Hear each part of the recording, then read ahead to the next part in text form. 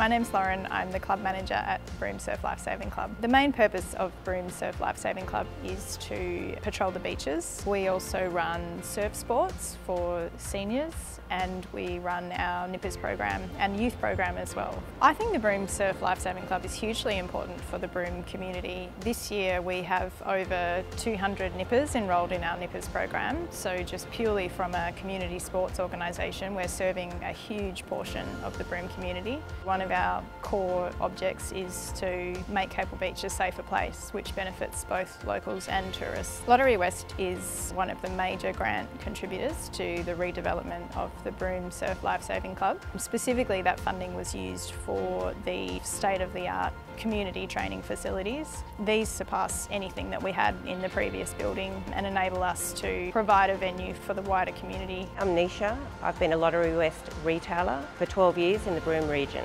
Surf Lifesaving Club is a wonderful facility. Just seeing all the people come together down there now and it's just a wonderful space for everyone to use. Without this funding we wouldn't have the wonderful spaces and facilities for the local community in Broome. They're very important.